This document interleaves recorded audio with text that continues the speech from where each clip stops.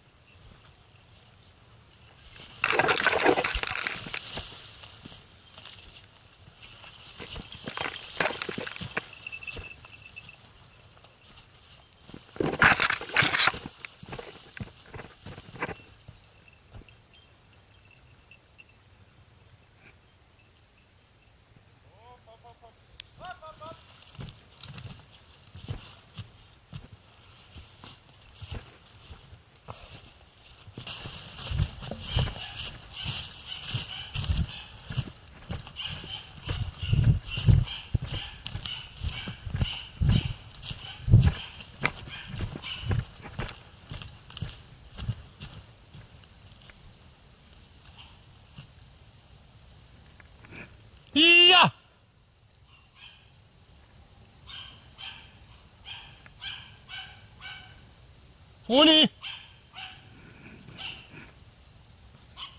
Froni! Pfui! Komm her!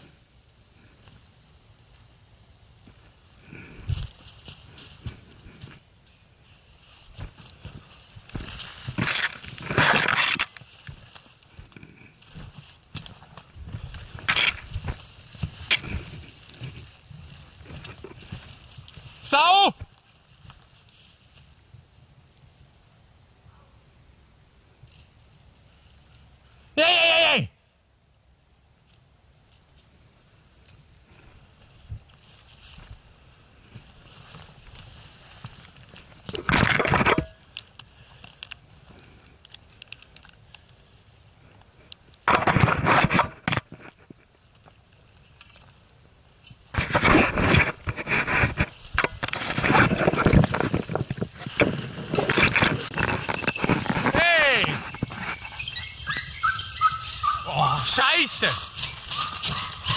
Hast du es gesehen?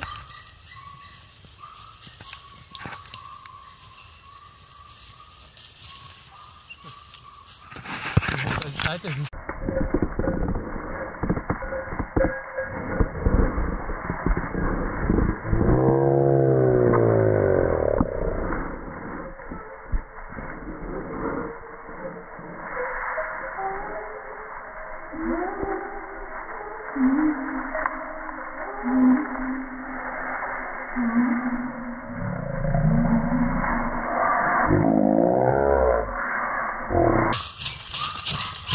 Hast du es gesehen?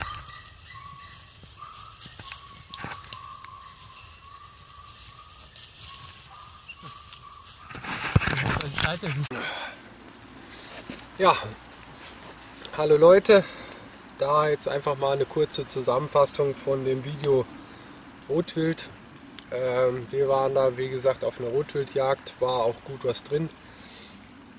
Äh, man sieht da also dann auch schön, wie so ein Alttier sein Kalb führt. Und äh, das Interessante an den Tieren, am Rotwild allgemein ist, also die, die drücken sich bis zum letzten Meter und setzen dann also erst auch eine Flucht an. In der einen Szene, wo ich dann ein bisschen umeinander fluche, aber das ist halt einfach so, äh, hat man gesehen, wie praktisch das Alttier dann den Flucht, die Flucht startet und das Jungtier, das Kalb rennt hinterher. Es war ein bisschen heikel äh, an der ganzen Sache, weil äh, ja, äh, man hat es im Video nicht so gesehen, ich habe es aber selber gesehen, also die Terrier sind dann, die Hunde sind alle hinterher und äh, das äh, Kalb ist praktisch dann auf einen deutschen Jagdterrier draufgetrampelt, würde ich jetzt sagen, Gott sei Dank irgendwo vorbei, auf jeden Fall ist der so durch die Luft geflogen, ich habe schon gedacht, um Gottes Willen, äh, dem Hund ist irgendwas passiert oder gebrochen. Ja, das war also eine Szene, äh, die, man, die ich so ein bisschen einfangen konnte. Ähm, ich habe dann noch ähm, praktisch gemerkt, dass äh, der Terrier von einem Kollegen und meine Dana haben äh, also auch wieder Rotwild gejagt. Ich bin also dann hinterher und habe also gemerkt, aha, sie rühren sich dank dem GPS-Gerät Garmin, sie rühren sich da nicht wirklich immer von der Stelle. Das heißt also, sie bleiben immer so ein bisschen auf einem Fleck hatte den Grund, ich habe es dann auch gesehen, ich habe es leider nicht einfangen können, weil da hatte ich absolut keine Zeit für, da zu filmen oder irgendwie rumzuhampeln, weil äh, da geht bei mir immer der Jagderfolg bzw. das Tier vor, äh, bevor ich da schöne Bilder oder Videos mache. Ja, auf jeden Fall war das so, ich habe also gesehen, wie äh, sich das Alt, das war ein einzelnes Alttier, sehr kräftiges, großes Tier, äh, sich immer wieder den Hunden gestellt hat, stehen geblieben ist, also gegen einen Hund, äh, dann äh, wieder gelaufen ist und sich wieder hingestellt hat und die Hunde haben natürlich gebellt und daran gearbeitet. Und da gibt es eine schöne Szene, wo ich sie verfolgt habe. Das heißt, ich bin also dann aus der Dickung raus und da war so eine äh, Rückegasse, eine große Breite. Und da stand also das Alttier praktisch in voller Größe da, hat so den Hund angeschaut, hat auch so ein bisschen mit den Vorderläufen gestampft um sich den auf Abstand zu halten. Und meine Dana hat dann also da laut gebellt, gebellt, gebellt. Ich stand also da, vielleicht 50 Meter weg und äh, sehe dann noch so, wie die Dana sie mich so seitlich anschaut und sieht, dass ich da bin und dann noch fester und so nach dem Motto schieß, tu was, aber Alttiere waren natürlich nicht frei. Das muss der Hund dann auch erstmal kapieren. Oder das kapiert der Hund nicht. und so richtig angeschaut, so nach dem Motto, jetzt tu was, erleg's, schieß, dass wir Beute machen. Ja, äh, ich stehe dann da, der Hund bellt. Äh, mittlerweile hat mich das Alttier dann auch ein bisschen bemerkt, aber es gar nicht mal hat, weiß nicht, ob es mich bemerkt hat, ich glaube fast nicht. Und dann ist der zweite Terrier wieder dazugekommen, da ist ihm zu alt, äh, zu, zu viel geworden und ist also dann wieder äh, eine Flucht von 50 bis 80 Metern zurückgelegt und das gleiche Spiel nochmal. Ich bin dann irgendwann hinterher, habe Gott sei Dank meine, meine Dana dann noch in die Finger bekommen, habe den anderen Noch einsacken können und bin dann wieder in den Trieb, wo ich eigentlich hätte sein sollen, äh, wieder zurück. Aber ich denke mal, das Spiel wäre dann keine Ahnung wie viele Stunden gegangen. Also es ist immer sehr interessant. Oder gerade äh, Alttiere mit Kälbern, also die machen kaum Strecke. Das heißt also, die gehen 100, 150 Meter, stellen sich in eine Dickung ein, bleiben bei den Jungen.